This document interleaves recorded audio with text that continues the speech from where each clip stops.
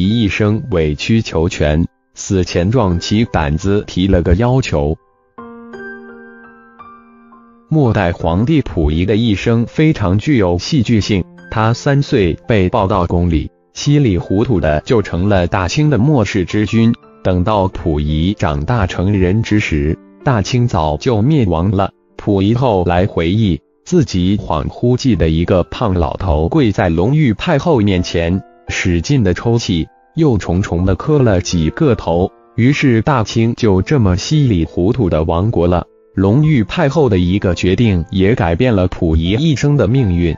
溥仪退位之后，一大批遗老遗少们自然不甘心放弃自己的荣华富贵，于是就纷纷准备复辟。溥仪的师傅们无时无刻不在溥仪耳边念叨祝大清的康乾盛世以及乱党的罪孽深重，这使得溥仪年纪轻轻就在心里埋下了一颗仇恨的种子。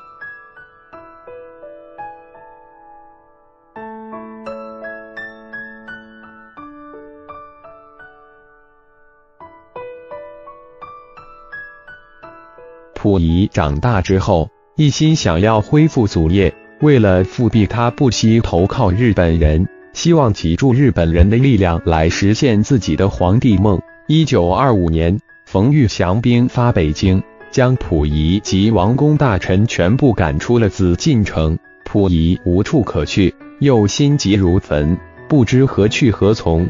此时，日本关东军及时出现在了溥仪的身边，极力拉拢溥仪，许诺只要溥仪能够去东北，便可以继续当皇帝。溥仪虽然心动，但是却始终拿不定主意，因为此时的遗老大臣分为两派，一派以郑孝胥为首，劝阻溥仪去东北图谋恢复；而另一派则以溥仪的师傅陈宝琛为首。坚决反对溥仪投靠日本人，认为此去无异于羊入虎口。但此时的溥仪已经被自己的皇帝梦冲昏了头脑，便不顾一切反对去了日本。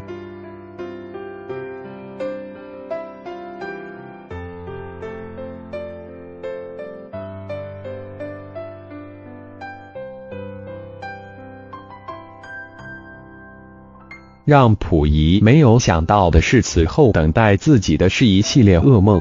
在东北的这几年里，溥仪的人生彻底陷入了万丈深渊，不仅一言一行都要受日本人的监视，而且还要时时刻刻为自己的性命担忧。在东北的这几年时间里，溥仪的婚姻也受到了重创，婉容染上了鸦片，天天人不人鬼不鬼，后来精神失常。最后死无葬身之地，连尸骨都没有找到。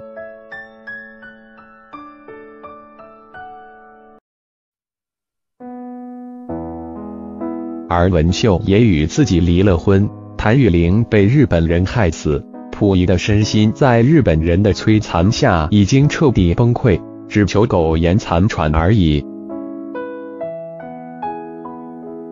一九四五年，日本战败。溥仪惶恐至极，他知道自己罪大恶极，一心想要随日本人去日本，生怕日本人扔下他或杀了他。但没想到飞机飞到半路上，竟然被苏联拦截，溥仪被俘虏。后来，溥仪被关进了战犯管理所。经过长时间的改造之后，溥仪终于恢复了公民的身份。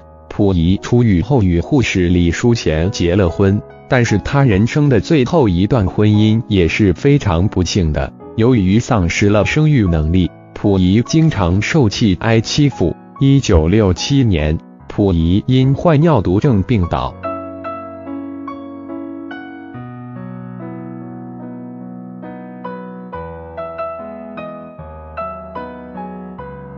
后因医治无效。于一九六七年十月十七日凌晨二时三十分去世。溥仪死前留下一个遗愿，希望自己能够葬在光绪皇帝不远的地方。